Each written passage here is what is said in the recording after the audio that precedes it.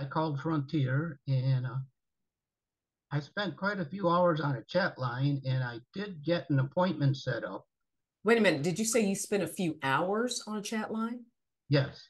Oh my gosh, how frustrating. He finally made an appointment to get the battery back up. When the technician showed up, He tells me, well, we don't do that in Rochester. then a Frontier salesman called trying to sell him the very service he already had.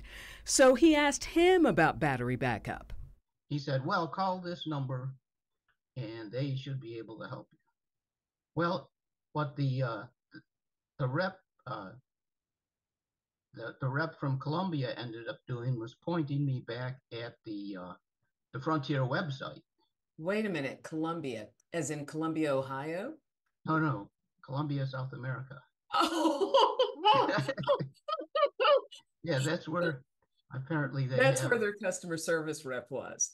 right. Yeah.